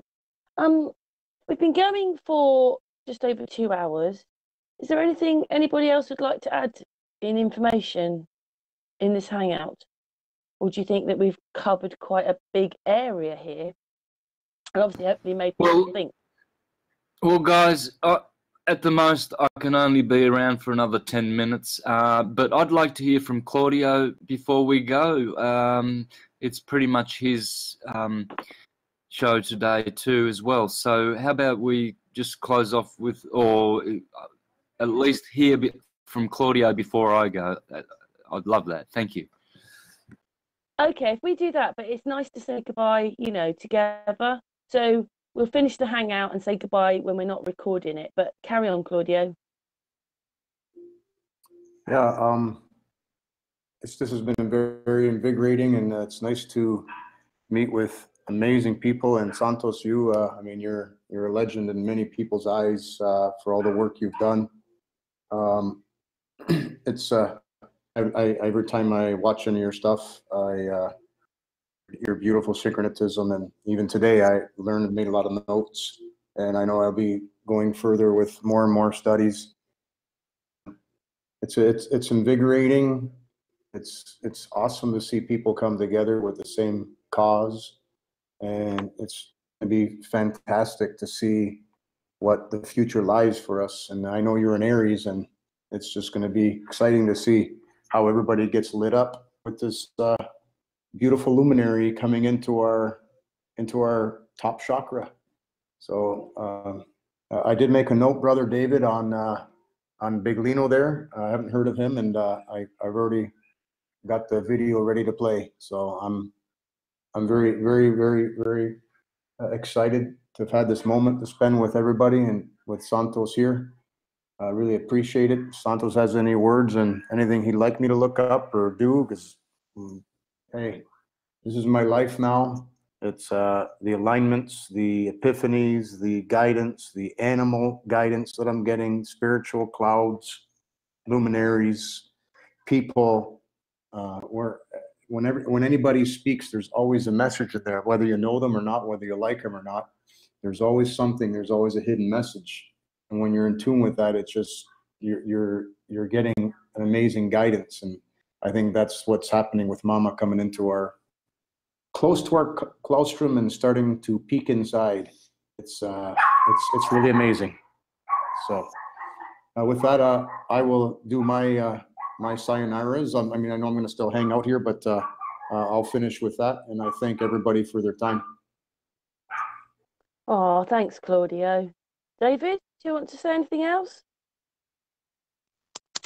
Um, no, we we have uh, covered a lot of extensive areas, and uh, it has been um, a privilege and an honour to be with such uh, noblemen and scholars, yourself included, sister. So it's great to see the energy um, brother B's got there and what's going off. And uh, I'm having trouble keeping up with you, Santos. Well done, kudos uh, with uh, with many things, and you're keeping us on our toes. And um, yes, I am. I'm happy to see um, you know, the current codings and yeah, codes and cycles and energies coming back around, and uh, it looks like we're getting a, a large dose of truth, science, and uh, prosperity in many ways. So um, yeah, I uh, I concur with what brother um, Claudio just said there, and um, it's been it's been excellent. Um, it's flown by again very fast, and I know your time's important, so we're very grateful and. Uh, have told me to say hello, thank you, lots of love,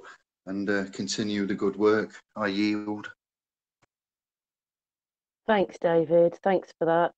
Well, thanks for the uh, comment as well. But I can't, um, I can't say what you three can say. I'm just here to help you talk.